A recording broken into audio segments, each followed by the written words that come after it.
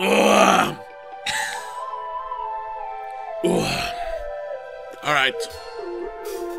Let's talk about True Detective Season 4 finale.